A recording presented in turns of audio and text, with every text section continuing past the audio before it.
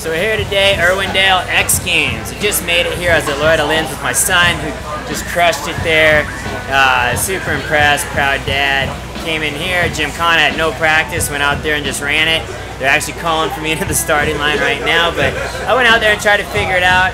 I'm gonna get through tonight, just have some fun, uh, and then tomorrow I get serious about the rally car racing, second in the points.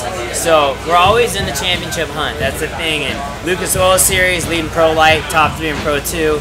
It's been a, been a gnarly year. So a lot going on, but uh, we do it one way, do it to win. So I'm gonna go out there and have some fun. I think I go up against Tanner Faust first. So we're here at X Games.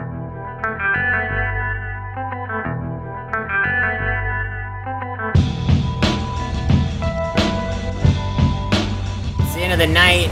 It is uh, Saturday, and we just got through Gymkhana.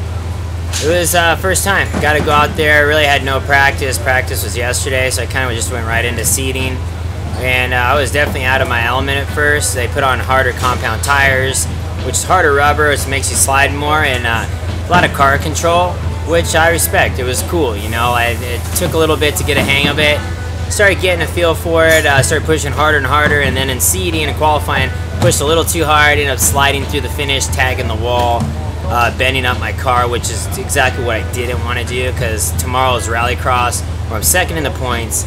My car felt really good when I first went out, and so uh, the mechanics are working really hard right now. I know that they'll get it dialed in, and uh, tomorrow is the, is the main focus. So we're here at X Games, uh, getting through Sunday, big rally day. It's been a good day. Went out qualified, seeded first, fastest dude on the track. Went out and qualifying, got into a bash him up and had to uh, do a black flag penalty and got going again and ended up making it into the main. I'll start second row inside, which is really good. So we're gonna get the car dialed in. It's kind of just roll the dice. It's a crash up derby out there. So if I can survive the first few red flag restarts that are probably going to happen and just get through this race. Uh, hopefully I can win it. That's the plan. I'm going to go out, go for broke, and try to win this thing. So we'll see what happens.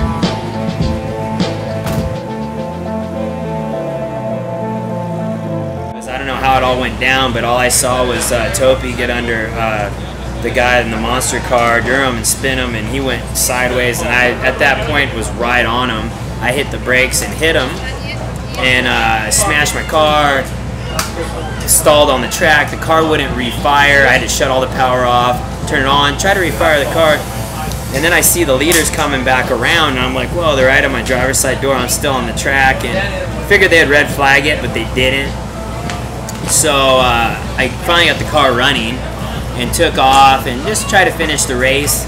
You know, the, track was coming apart. There's tires everywhere. And, carnage, and uh, you know it's crazy. That's how rally goes. And, you know, I felt good though. We were definitely had the speed.